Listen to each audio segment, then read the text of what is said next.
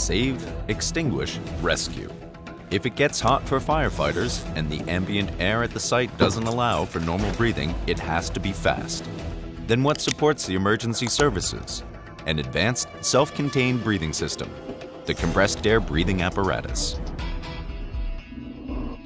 Dräger is one of the world's leading manufacturers in the field of heavy-duty breathing protection.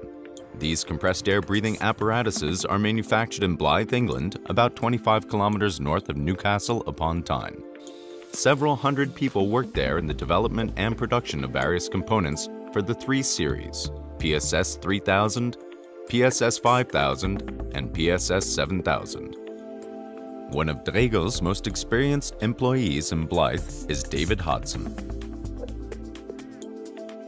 The important thing with compressed air breathing apparatus is to make sure that the user always has air.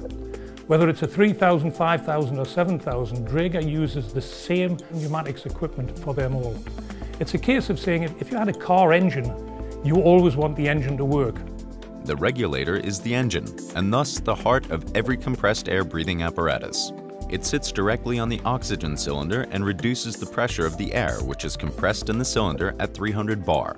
In conjunction with the lung demand valve, it returns the breathing air back to a normal level. What makes the development and production of the pressure reducer a giant task is the environment, which varies between freezing cold and sweltering heat. Firefighters typically these days can get up to temperatures of 200 degrees, 250 degrees C during the firefighting operations. In the first stage pressure reducer, temperatures can get down as low as minus 80 degrees C inside the reducer itself. This makes some real challenges for our design engineers and for the capability of our products. Because moving parts are in the pressure reducer, just minimal tolerances are allowed in the production. Therefore, in Blyth, a computer-controlled automated production process was designed to meet the stringent requirements. Continuous quality monitoring and random measurements ensure that the pressure reducer works reliably for years. This is the fifth generation reducer and over the years I've seen many, many improvements. Um, it works at extremely low temperatures and extremely high temperatures. You've got a second man attachment, so if he was stuck um, and, and, there was an emergency where the fireman was in trouble, you could plug in the second man attachment and you could work off, a, off, off another fireman's breathing equipment. The compressed air cylinder represents a similarly sophisticated product that provides the firefighter with air to breathe. To make it as simple and robust as possible, modern materials such as fiberglass and carbon are used. The current cylinders are 50% lighter than the old steel cylinders. Its average is about 360 metres of fibre that's, that's on each cylinder. The cylinder will hold 300 bar, but we test it up to 450 to make sure that the pressures that it's supposed to be worked with, we've got a good factor of safety.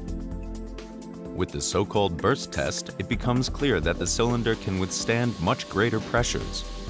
More than 1200 bar of pressure are necessary to make them burst.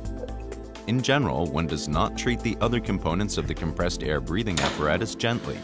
The goal is to find out if they are able to survive the harsh reality of operations. We have an R&D test department here. They have various test chambers, various test equipment, uh, which can do low temperatures, high temperature tests. There are flame tests done, there are flame engulfment tests done at 1000 degrees C, mechanical performance tests, tensile compression testing, and life cycle testing. Every component passes through this process, leading to an overall system that is perfectly matched and ensures maximum reliability. So it is and remains. Every compressed air breathing apparatus that is sent out into the world from Blyth is through and through a Dräger quality product.